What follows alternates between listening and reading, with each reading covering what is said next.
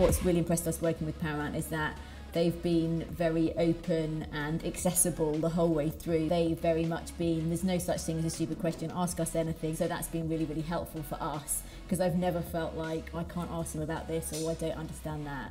They've been a pleasure to work with. Offspring Films are a company that make nature documentaries. We really wanted to try and incorporate both of those aspects of contemporary modern technology mixed with the natural world. When the team are at work, they can either feel like they're out in nature or at home, just somewhere that doesn't feel traditionally officey.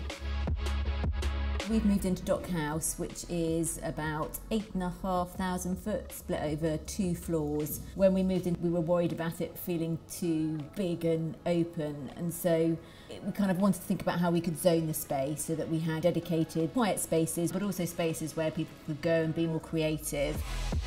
From the very beginning, it was a really collaborative experience, both in terms of trying to kind of pull out what Offspring's key values were, what we wanted to use the office space for, what was important for our team. They were very responsive when something didn't work and they would kind of suggest creative solutions that we hadn't even considered. My favourite space is definitely the tea point area. It feels really homely. The colours are really nice in there and I love the light on that part of the building. Yeah, I love it.